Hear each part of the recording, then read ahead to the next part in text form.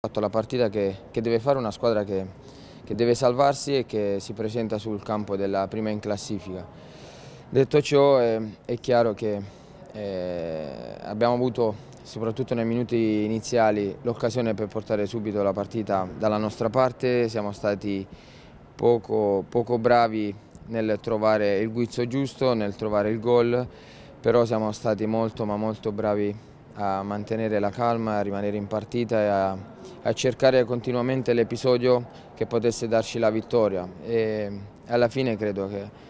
il lavoro svolto nell'arco dei 95 minuti abbia dato eh, risultati giusti e che è una, una vittoria meritata da, da, dai ragazzi. Probabilmente eh, chi mi ascolta e chi mi conosce si,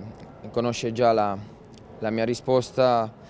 assolutamente niente calcoli, eh, questa era la quarta partita delle dieci di cui vi ho parlato un po' di tempo fa, al rientro dalla, dalla sosta, è andata molto bene anche questa,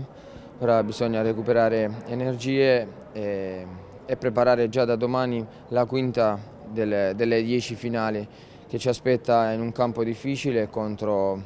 e contro una, una diretta concorrente.